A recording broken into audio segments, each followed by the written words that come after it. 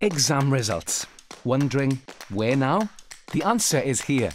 Whatever your ambitions and whatever your results, we can help.